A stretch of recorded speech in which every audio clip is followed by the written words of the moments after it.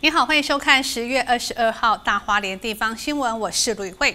全国青商会日前拜会了花莲县政府，并且捐赠一台 AED 设备，将设置在封冰箱文件站。县长徐正伟感谢全国青商会无私奉献，提升偏乡救护资源，让公共场域可以更让人安心。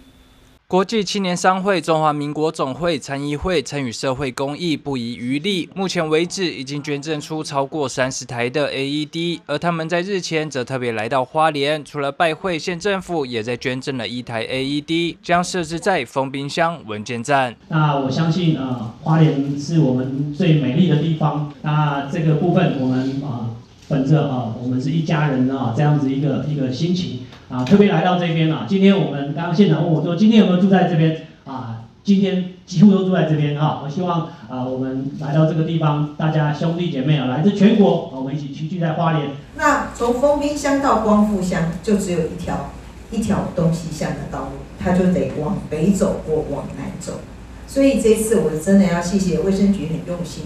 在我们的这个青商会，我们的这个参议会，哦，提出说要对于花莲的这个我们的比较长者的哪一些的场域需要这个捐赠 AED 的部分，卫生局做了一些盘点。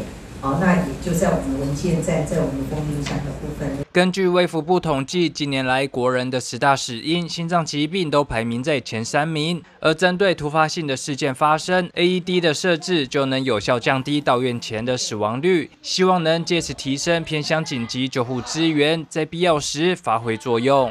记者徐立琴，华联市报道。